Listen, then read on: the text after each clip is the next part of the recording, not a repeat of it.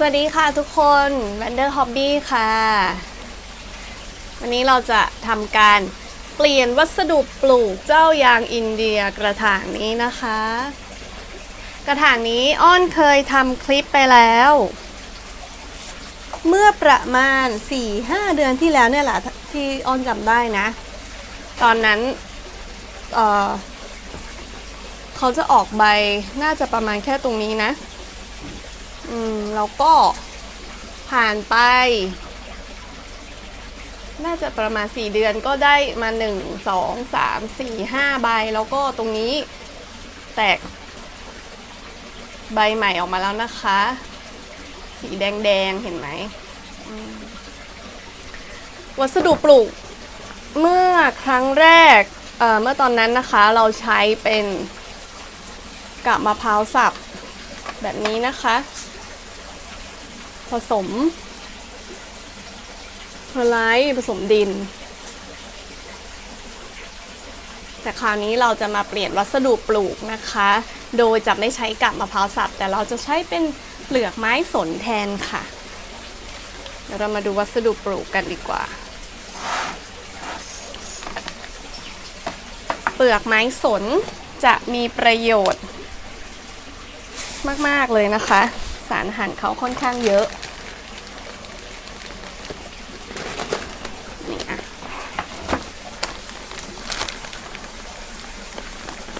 สูตรผสมดินนี้ เราสามารถปลูกกับต้นไม้ที่เราจะนำเข้าไปเลี้ยงในบ้านได้เลยนะคะ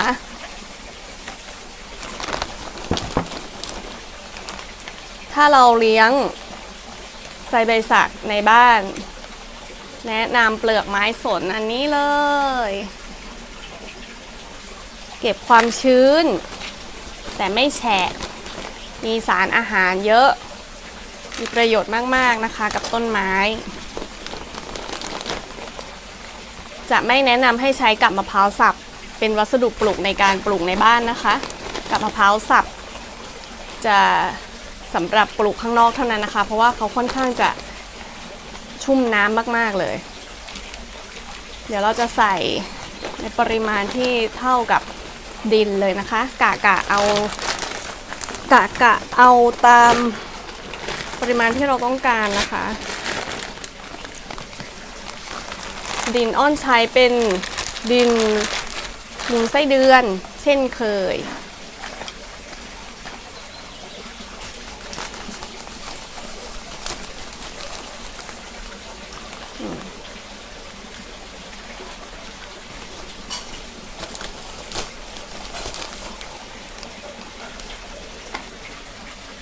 ดินเหนียวผสมไปด้วยให้เราเอาออกนะคะ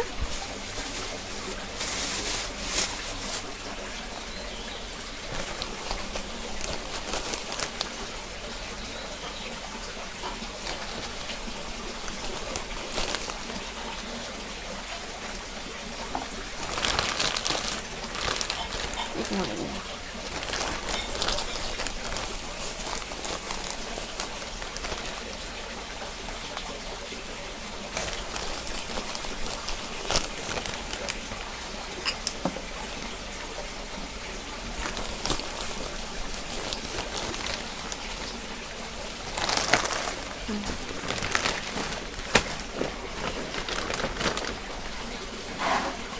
ใส่เปลือก ไม้สนเข้าไปอีกหน่อยยางอินเดียนี่เลี้ยงง่ายมากเลยนะคะ เปลี่ยนดินปุ๊บก็ทิ้งลืมได้เลย ไม่แทบจะไม่ค่อยดูแลอะไรเลยอะ่ะ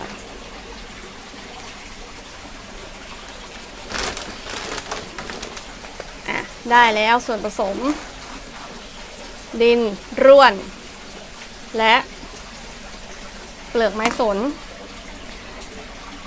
ส่วนผสมสุดท้ายขาดไม่ได้เลยคือเพอร์ไลท์ค่ะเดี๋ยวนะเพอร์ไลท์เขาค่อนข้างจะฟุ้งมากๆ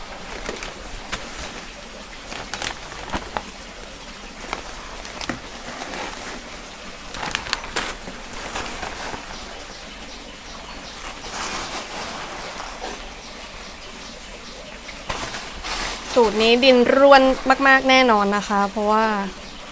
ส่วนผสมของเรานั้น เป็นวัสดุ ที่ดีกับต้นไม้แล้วก็ทำให้ดินโปร่งมาก ๆ ค่ะ แล้วก็คลุกเคล้าเลยค่ะ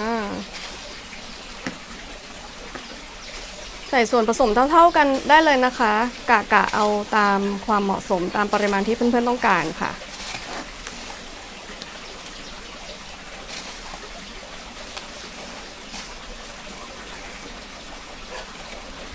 สูตรนี้นะคะ ใช้ได้กับต้นไม้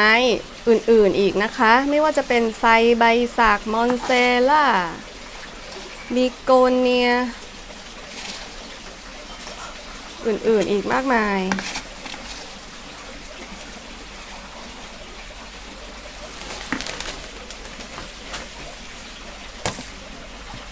สารฆ่าแมลงค่ะ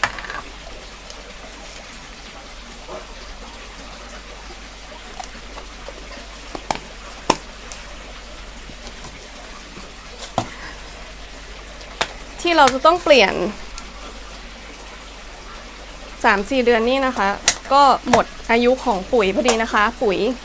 ละลายช้าสูตรเสมอ ก็จะอยู่ได้ประมาณเนี้ยแหละค่ะ 4 เดือน แล้วแต่สูตรแต่ว่าส่วนใหญ่ก็จะประมาณนี้นะคะ ใส่ปุ๋ยสูตรเสมอสูตรไหนก็ได้นะคะ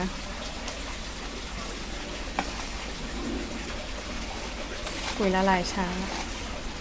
คลุกเคล้าเลยค่ะ ออกมาก็ร่วนมากเลยอะ่ะ หน้าตาแบบร่วนมากดูสิเพื่อนๆดูไปไกลๆเห็นไหมเห็นไหมเห็นไหมเห็นไหมร่วนมากเลย อืม ได้ดีละ ต่อไปเราจะเอาเขาออกมาจากกระถางกัน ทิ้งเลยวัสดุปลูกเก่าไม่เอาแล้ว เพราะว่า ดินมันจืดแล้วแล้วก็กับมะพร้าวสับเนี่ยไม่ได้มีสารอาหารอะไรเลย แล้วมันก็ น่าจะเสื่อมสภาพแล้วเราก็เปลี่ยนให้เขาหน่อยนะคะนะ ออนว่ารากเขาก็ไม่น่าจะเต็มนะ ใช้กระถางเดิมเลยนะคะ เพราะว่า เราแค่อยากเปลี่ยนวัสดุปลูกเขาไม่ได้อยากเปลี่ยนกระถางเพราะว่าไซส์กำลังโอเค พอเหมาะกับลำต้นเขานะคะ ใหญ่มากๆมันจะเก็บความชื้นมากเกินไปทำให้รากเน่าได้นะคะ ค่อยๆ เอาเขาออกมานะคะ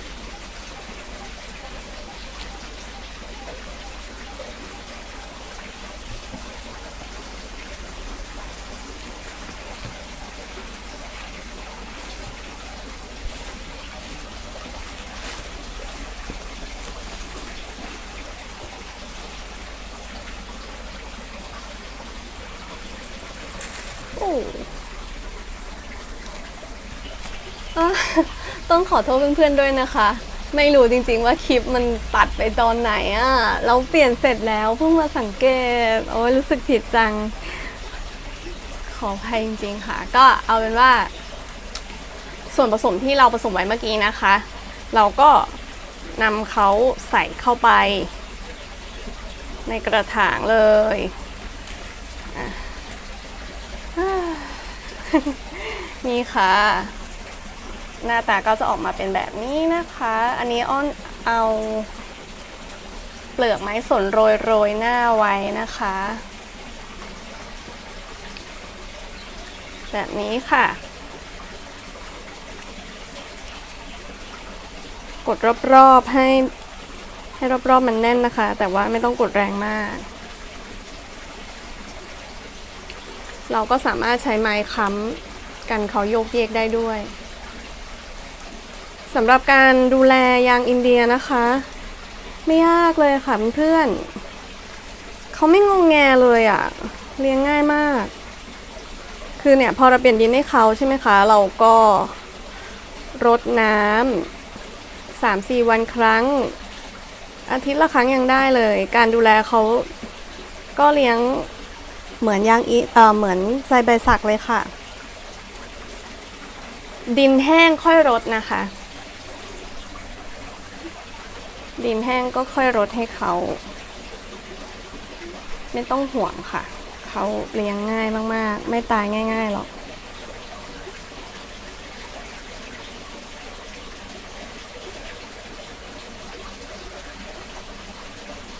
แดดรำไรค่ะ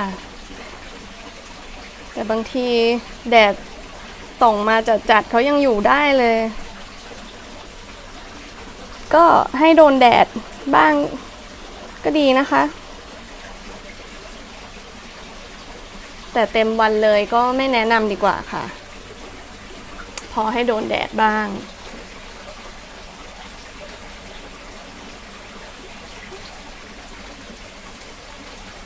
สำหรับคนที่เลี้ยงในบ้านนะคะ ก็แนะนำสูตรดินนี้ได้เลยนะคะ เลี้ยงในบ้าน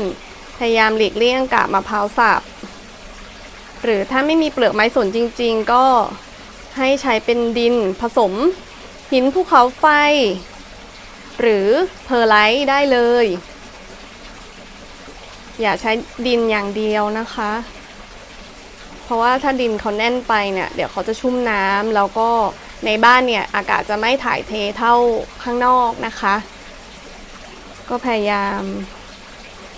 ดูแลเรื่องสภาพอากาศในบ้าน นิดนึงนะคะ แดดถึงน้ำอย่าเยอะใส่ในปริมาณที่พอดี อากาศถ่ายเท แค่นี้เองอยู่ได้แล้วอะจะดับอีกหรือเปล่า โอเค ไม่ดับแล้วนะ